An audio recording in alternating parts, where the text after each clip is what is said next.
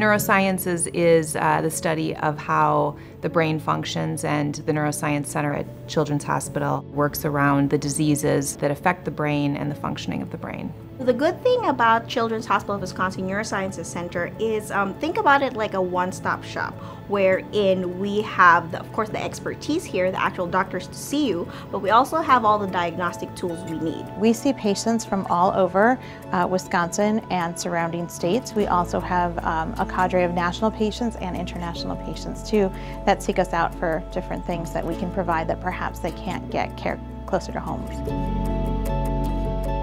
There are a number of differentiators for the Neuroscience Center um, at Children's Hospital um, that can't be found in other locations in the state.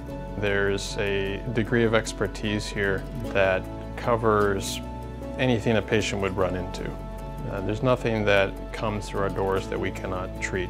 One of the benefits we have is multidisciplinary collaboration. So when we have questions, concerns, it's very easy to contact each other. We're talking about patients constantly throughout the workday. There's always something new and better, and this institution's done a good job of allowing us to deliver the best care. We have world-class imaging here with one of the few PET MRI scanners in the country, and that gives us great diagnostic abilities for both tumor and epilepsy patients.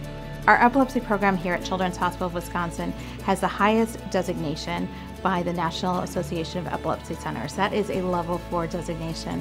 What that means to a parent uh, who may be making a choice is that we provide services that are of the highest level and have the most specialized care for your child. You cannot achieve this level of accreditation without having all the pieces of the puzzle present.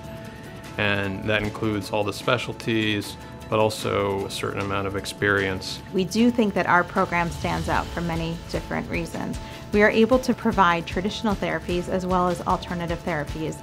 We are always thinking outside of the box. We don't treat each case as the same. We treat each child individually. We can come up with ways to um, have the most uh, innovative surgical approach with the best outcome for recovery and knowing what the families need to recover best. We're involved in a lot of research and much of it is multi-institutional contributions where we're collaborating with other centers because a lot of what we do is, is quite subspecialized. I would tell parents to expect the best and safest care for their child or children here in neurosciences. We will take care of their child but also the entire family. We go out of our way to make sure that our care is convenient and accessible and that we've explained what we are doing and provided teaching at every moment. Our overall goal is to aim to be the best in the nation and um, just make sure that we have the healthiest kids in the nation and provide the best care, not just in neurology, but with every specialty.